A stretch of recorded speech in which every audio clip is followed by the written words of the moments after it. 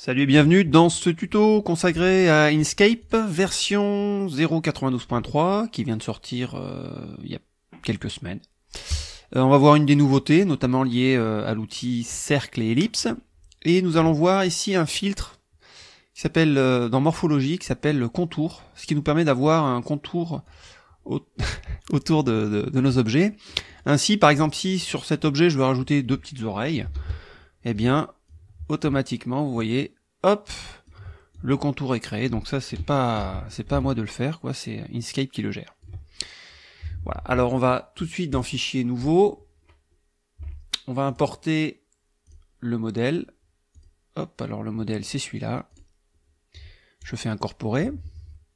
Je place cet objet euh, à ce niveau-là. Pour zoomer, j'utilise la molette de ma souris. Je vais mettre cet objet sur un calque. Donc je vais dans la fenêtre des calques ici. Donc je vais appeler ce calque modèle. Voilà, je valide. Je clique sur le petit plus pour rajouter un calque, je vais appeler illustration. Voilà, je valide. Euh, je verrouille le calque modèle. On fera juste ce petit personnage. Donc je sélectionne outil créer des cercles, des ellipses et des arcs. Et voilà, la petite nouveauté, c'est ici, on a la possibilité de euh, saisir directement le rayon en X et le rayon en Y. Donc je vais cliquer glisser. Alors si j'appuie sur CTRL comme d'habitude, ben, j'ai un cercle parfait. Allez, admettons, euh, j'appuie pas sur CTRL, donc je fais une ellipse. Et je peux maintenant, en fait, ici, taper voilà, mon rayon en X et mon rayon en Y. Et je suis sûr d'avoir un cercle parfait. Euh, pour récupérer la bonne couleur, eh bien, j'utilise la pipette. Donc le raccourci c'est F7. Je sélectionne ma pipette. Je vais récupérer la, couleur ici, donc je, n'ai qu'à cliquer. Tac J'ai la bonne couleur qui se met. Je vais agrandir un petit peu ça. Alors on peut appuyer sur CTRL et sur SHIFT, comme d'habitude. Euh, je duplique cet objet, CTRL D. Je vais lui mettre la couleur noire. Hop. Je vais réduire la taille de ce cercle. Donc pour cela, je sélectionne l'outil flèche noire ou sélecteur. Donc j'ai des petites flèches qui apparaissent. Je clique sur une flèche, j'appuie sur CTRL et sur SHIFT. Voilà. Je vais mettre euh, quelques ellipses blanches au niveau de l'œil. Donc je duplique, CTRL D, ou on peut cliquer là-dessus, hop, ou aller dans l'édition dupliquer. Voilà. Donc je mets une couleur blanche, donc je n'ai qu'à sélectionner ici cette couleur, et automatiquement elle s'applique sur le fond. Donc je réduis tout ça. Une chose, si vous n'avez pas la même présentation que moi, vous, allez dans l'affichage et vous sélectionnez défaut. Voilà. Euh, je duplique cet objet, encore une fois, CTRL D. Je le déplace vers le bas en cliquant dessus avec euh, la flèche noire. Ici sélectionné. Je réduis sa taille en cliquant sur la flèche. Voilà, encore. Hop une petite rotation, je clique sur mon objet pour voir les flèches de rotation. Voilà. Je duplique cet objet. Euh, je vais faire une petite rotation, puis je vais un petit peu le réduire encore comme ceci. Voilà. Alors pour sélectionner deux objets, je sélectionne l'objet là, j'appuie sur Shift, et je peux ainsi déplacer deux objets en même temps. Euh, allez, je duplique celui-là. Et ça fera mon troisième éclat lumineux. Tac, voilà.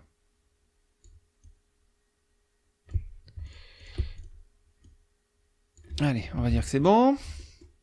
Je sélectionne tout ça. Je groupe, CTRL G, ou je clique là-dessus. Hop. Je réduis. Alors pour réduire et garder euh, l'homothétie, on peut également verrouiller ici le petit cadenas. Je me mets sur cette flèche, je clique, je glisse, et vous voyez, on garde un cercle parfait. Euh, je vais dupliquer cet objet, CTRL D, et le déplacer. Pour rester bien à l'horizontale, j'appuie sur CTRL. Voilà. Euh, je vais faire les deux petites ellipses avec l'outil créer des cercles et des ellipses. Ici, je récupère la couleur qui me convient ici. Tac. Euh, je déplace cet objet vers le bas, donc je clique ici pour descendre d'un cran, comme ça ça se place juste sous l'œil. Euh, j'aligne correctement ces deux objets, donc pour cela je sélectionne mon œil et ma petite ellipse rose, je vais dans la fenêtre aligner et distribuer ici, Je sélectionne dernier objet sélectionné qui est mon œil, et je clique là-dessus. Je duplique cet objet, hop, je le déplace, je sélectionne mon œil, et je clique maintenant sur ce petit icône pour aligner vers la gauche. J'oublie pas de descendre cet objet d'un cran. Je vais faire la petite bouche, alors on va utiliser une ellipse, on duplique, on lui met un contour noir. Pour mettre un contour, on appuie sur Shift et ici sur euh, la couleur noire. On peut également aller ici dans la fenêtre fond. Donc pour faire apparaître la fenêtre fond, on clique là-dessus. On va dans contour et ici on choisit le, contour et même la couleur. Voilà, on va laisser noir, c'est très bien. On va sélectionner l'outil éditer les nœuds. On va convertir cet objet en chemin. On peut maintenant sélectionner le nœud ici et le supprimer. Donc je fais un petit carré de sélection. Soit je clique sur le moins, soit j'appuie sur supprimer euh, de mon clavier. Allez, supprimer du clavier. Et pour enlever le segment, il suffit juste de le sélectionner et de cliquer là-dessus pour supprimer le segment. On va également supprimer le fond. Donc je clique là-dessus et je clique sur la croix. Je réduis la taille de ma bouche. Euh, alors je vais désactiver cette option qui est cochée pour redimensionner automatiquement mon contour. Voilà, hop, comme ça il garde la bonne épaisseur, qui est à 1,25. c'est très bien. Euh, on va aligner la bouche par rapport à la tête. Je sélectionne la tête, aligner, distribuer, tac. Voilà, au niveau des yeux, c'est pareil, on va grouper ça et grouper ça. Grouper les deux yeux, sélectionner la tête, et bien aligner. On va sélectionner tout ça, hop, CTRL G, et on va maintenant aller dans Filtre, Morphologie, et utiliser notre filtre contour. Donc je fais aperçu en direct pour voir ce que ça donne. On va ici dans les options. Euh, position externe, alors on a possibilité d'avoir le contour qui soit à l'intérieur, moi je préfère qu'il soit à l'extérieur, externe. Épaisseur 1, dilatation 100, érosion, euh, je l'ai mis à 1, c'est pas mal. Épaisseur ici j'ai laissé à 0,01. Alors vous pouvez bien sûr vous amuser à, tester pour voir un petit peu ce que ça donne. Euh, dilatation. Oh, là ça joue pas trop. Érosion. Allez, on laisse à 0. Et anti-aliasing, j'ai laissé à 0,45. On a une petite option pour adoucir, ce qui a tendance un peu à flouter, je, les conseille. Alors ce qui est sympa aussi, c'est qu'on peut jouer euh, sur la couleur du contour. Donc on va mettre un petit contour euh, rouge comme ça. Alors si ça s'actualise pas, il suffit juste de cocher, décocher.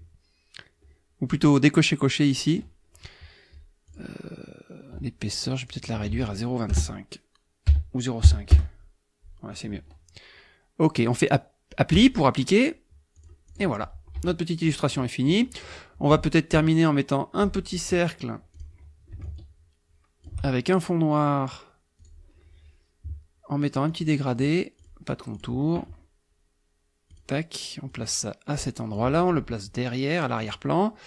Euh, on va diminuer l'opacité. Alors pour diminuer l'opacité, on peut jouer là-dessus. Ou on peut également aller ici, clic droit et choisir 25% euh, par exemple. Je mets sur la flèche, j'appuie sur Shift. Vous voyez, pour que en fait euh, le redimensionnement se fasse par le centre de l'objet. On aligne tout ça. Voilà. Euh, on va mettre plutôt 50%. Voilà. Allez, une dernière chose. Euh, je vais masquer mon, mon modèle. Je vais mettre un petit fond, un petit rectangle, tout simple. Alors, avec des contours pointus. Ici, à 100%. On va choisir un gris. On place cet objet à l'arrière-plan. Donc je clique sur ma flèche et je clique sur descendre la sélection à l'arrière-plan ou le raccourci clavier c'est End. Voilà, un petit dégradé. On va mettre un dégradé linéaire. Alors pour modifier le dégradé, je clique ici. Donc je mets cette, cette couleur en haut, celle-ci en bas. Euh, je vais mettre ici une couleur blanche. Alors là, c'est pas une couleur blanche, en fait, c'est un, c'est le même gris qu'ici, mais avec une opacité à, à 0, vous voyez. Donc nous, on va mettre en blanc et une opacité à 100%. On va ici dans les préférences du document, et on va redimensionner par rapport donc à la sélection. De façon à ce que tout soit correctement mis. Euh, j'ai oublié depuis le début d'enregistrer mon document, ce qui peut être un peu embêtant si ça plante. Je vais l'appeler dessin 01. Voilà pour ce petit tuto, je vous remercie de l'avoir suivi, j'espère qu'il vous sera utile et je vous dis à bientôt pour de nouveaux tutos.